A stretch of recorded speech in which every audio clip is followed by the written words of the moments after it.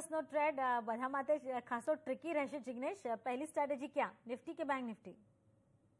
નિશા, મને એમ લાગે છે કે પહેલી વાર આજનો ટ્રેડ ટ્રીકી નહીં રહે કારણ કે બધાને ખબર છે કે આજનો દિવસ બુલિશનેસમાં જવાનો છે only because of the announcement જે આપણે જોયા લાસ્ટ વીક અને મને એમ લાગે છે કે અત્યારના ઓવરસોલ્ડ ઝોનમાં રહેલી નિફ્ટીમાં વધારે વેચવાની આપણે જોઈ રહ્યા હતા ગયું વીક જે ઇન્ડેક્સ પર જે રીતના સપોર્ટ લાઈન તૂટતી હતી મને એમ લાગે છે કે ખાસી એવી વીકનેસ અને અનનેસેસરી વીકનેસ માર્કેટમાં અને ચાર્ટ ઉપર ક્રિપ થઈ હતી સંભાવ હવે નિફ્ટી પાછું સપોર્ટ લાઈનની ઉપર આવી ગયું છે એક જ દિવસના ટ્રેડિંગ સેશનમાં અને મને એમ લાગે છે કે આજે બુલિશનેસ બરકરાર રહેશે.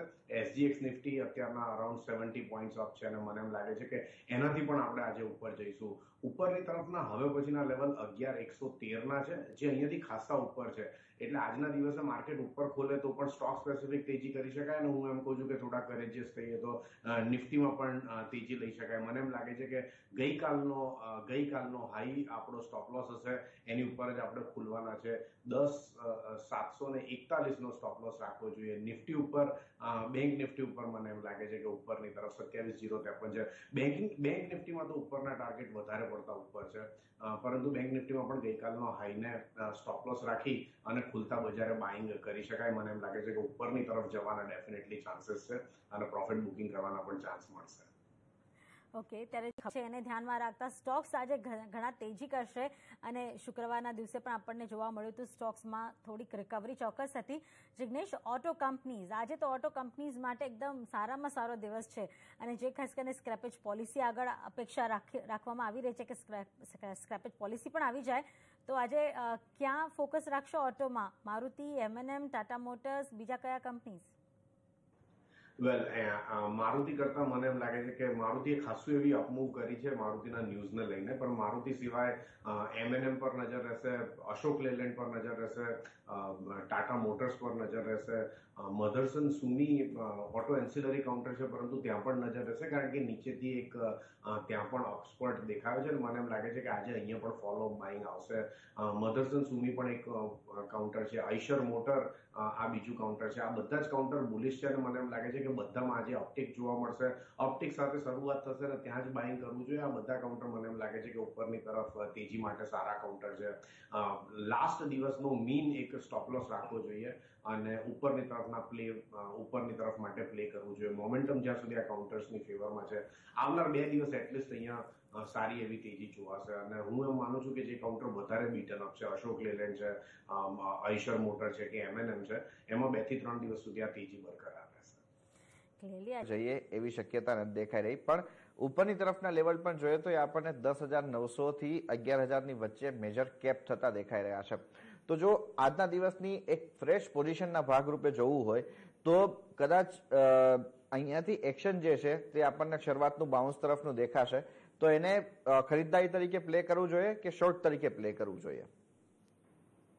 જી વિક્રમ, સૌથી પહેલા તમે શરૂઆત કરી કે આજે બે તરફા મૂવ દેખાવાની છે. મને એમ લાગે છે કે શરૂઆતના અડધો કલાકમાં જ આ મૂવ બંને તરફની પ્લે થઈ જવી જોઈએ.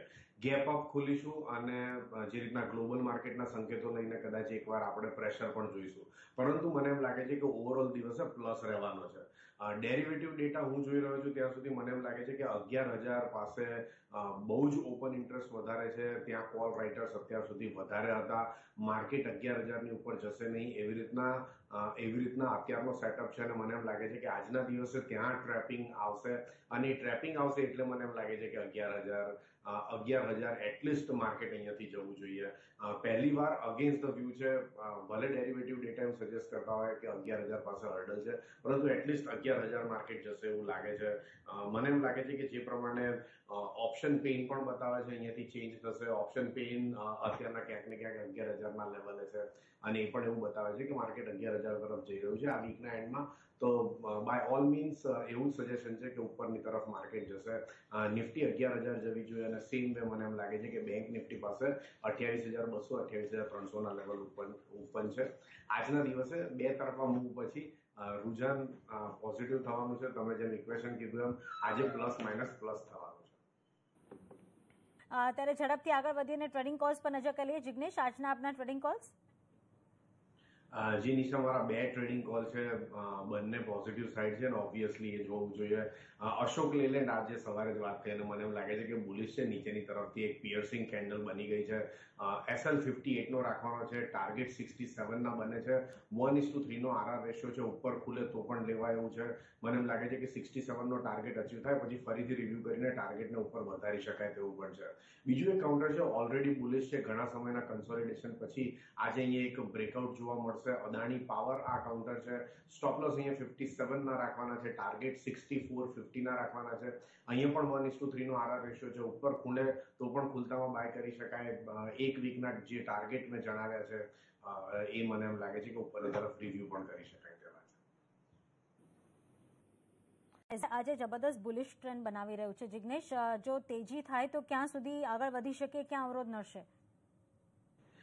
વેલ એસબીઆઈ એ બહુ ઇમ્પોર્ટન્ટ એક રેઝિસ્ટ એક ઇમ્પોર્ટન્ટ સપોર્ટ ઝોન તોડ્યો હતો અને ત્યાંથી અહીંયા બુલિશનેસ આવી મને એમ લાગે છે કે કાઉન્ટરને ખાસા ઉપરના લેવલ્સ બતાવી શકે તેમ છે. બહુ જ શોર્ટ ટર્મની વાત કરીએ તો બસો સિત્યોતેર એક એવું લેવલ છે.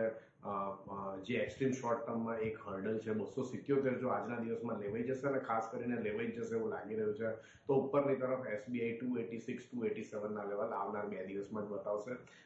ટુ સેવન્ટી વનથી ટુ સેવન્ટી સેવનનો ઝોન પાર કરવાનો છે. ટુ સેવન્ટી સેવન જો પાર થઈ જશે તો ટુ એટી સિક્સ છે.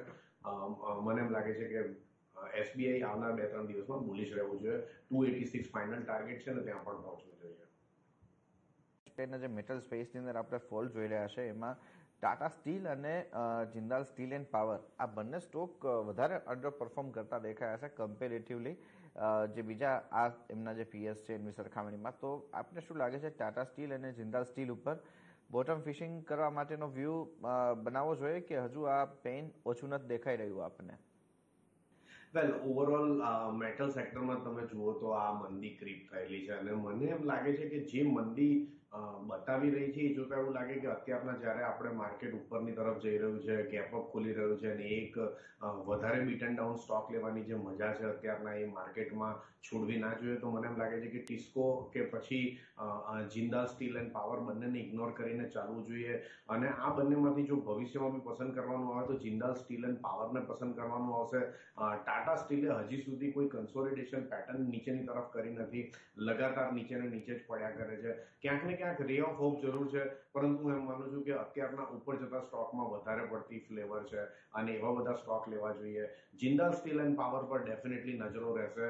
જે કન્સોલિડેશન છેલ્લા પાંચ સાત ટ્રેડિંગ સેશનમાં બન્યું છે, એમાં એકસો પાંચનું લેવલ ઉપરની તરફ છે જેવું એકસો પાંચનું લેવલ તૂટશે જિંદાલ સ્ટીલ એન્ડ પાવર લઈ શકાય. મને એમ લાગે છે કે સીધું એકસો પાંચથી એકસો ત્રીસના લેવલ ઉપરની તરફ બતાવશે. ઇવન ડેડ કેટ બાઉન્સ હશે. તો પણ એકસો ત્રીસ સુધી જિંદા સ્ટીલ એન્ડ પાવરને લઈ શકે છે. એટલે આ બંને કાઉન્ટર પરથી નજરો ત્યાં રાખીશું, પરંતુ ઉપરની તરફ એકસો પાંચ તૂટવાની રાહ ડેફિનેટલી જોવી પડશે. નિફ્ટી છે અને સત્યાવીસ ત્રણસો પાસે પહોંચતી દેખાય છે બેંક નિફ્ટી. ઇવન બેંક નિફ્ટીનું ફ્યુચર જો તેમાં તો ખાસું એવું ડિસ્કાઉન્ટ આવી ગયું છે. સત્યાવીસ ત્રણસોની આસપાસ એ છે, જ્યારે કેશ નિફ્ટી સત્યાવીસ ત્રણસો ને પાસઠ પાસે છે. જિગ્નેશ, કોઈ પર્ટિક્યુલર વ્યૂ ઇન્ડાઇસિસ માટે અત્યારે પ્લે કરાય કે ના કરાય? જો નવી પોઝિશન માટે એન્ટ્રી લેવી હોય તો ખરીદદારી બને? ઓફકોર્સ ખરીદારી બને. મને એમ લાગે છે કે કરંટ લેવલે ખરીદારી કરવી જોઈએ. ગેપ અપ થયા પછી મેં જે કુલ ઓફની વાત કરી હતી કે થોડાક સમયમાં જ દેખાશે અને કુલ ઓફ આપણને અત્યારના જોવા મળી ગયું છે. મને એમ લાગે છે કે કરંટ લેવલે બાય કરવામાં કંઈ જ વાંધો નથી. સ્ટોપ લોસ નીચેની તરફ દસ આઠસો પંદરનો રાખો. દસ એટી, દસ એટ સેવન ફોર ના લેવલ હજી પણ ચાલી રહ્યા છે. સ્ટોપ લોસ મને એમ લાગે છે કે ઓર થોડો ઉપર પણ લઈ જઈ શકાય. દસ એટ ફોર એટ અથવા દસ આઠસો પચાસ નો સ્ટોપ લોસ રાખીને પણ બાઇંગ કરી શકાય. પચીસ એક પોઈન્ટ નીચે સ્ટોપ લોસ છે. લાગતું નથી કે આજે નિફ્ટી આ લેવલથી અહીંયાથી નીચે જાય. અથવા તો અહીંયાથી નીચે ક્લોઝ કરે. કોન્ફિડન્સ ક્વાઇટ બરકરાર છે ગ્લોબલ માર્કેટને લઈને. આપણે ઉપરની તરફ ઓપન થયા પરંતુ નીચે નીચે ગતિ જોવા મળે છે. મને લાગે છે કે ક્વાઇટ ઓબ્વિયસ છે. ગભરાવાની જરૂર નથી. બાય જ રાખવું જોઈએ. ઉપરની તરફ દસ નવસો એકતાલીસ સુધીના લેવલ એટલીસ્ટ દિવસ દરમિયાન પાછા ફરતા જોવા મળશે. જી નિશા જે સ્ટોક્સ જે સ્ટોક્સ મેં રેકમેન્ડ કર્યા છે, અમારા ક્લાયન્ટ જોડે પણ ડિસ્કસ થયા છે, દરેક જોડ પોતાના ફિનાન્શિયલ એડવાઇઝરની સલાહ લઈ લે અને પછી માર્કેટમાં કામ કરે.